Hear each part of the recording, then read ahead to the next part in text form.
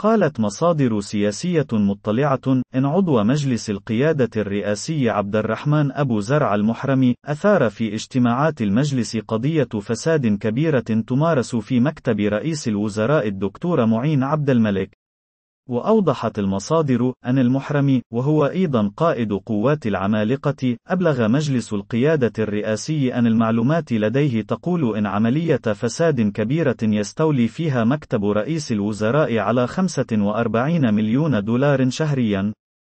وذكرت المصادر أن أبو زرع المحرمي دعا مجلس القيادة الرئاسية إلى تشكيل لجنة للتحقيق في قضية الفساد المشار إليها، إلا أن ذلك لم يتم، وجرى إبلاغ الدكتور معين عبد الملك بالأمر، الذي نفى ذلك ورد بالقول: هذه قضايا بسيطة.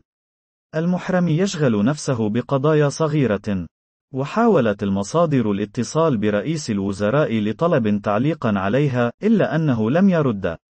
وكانت تقارير إعلامية قد تحدثت في أوقات سابقة عن ممارسات فساد في مكتب رئيس الوزراء، غير أنها لم تكن تصل إلى طرحها في المستويات العليا للدولة.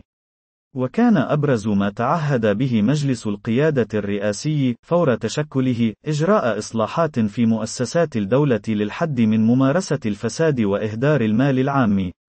ويشترط العديد من المانحين والداعمين لليمن لتقديم المساعدات إجراء إصلاحات تعزز الشفافية والنزاهة في مؤسسات الدولة وتحد من ممارسة الفساد فيها وينتظر من الحكومة هي من تقود هذه الإصلاحات.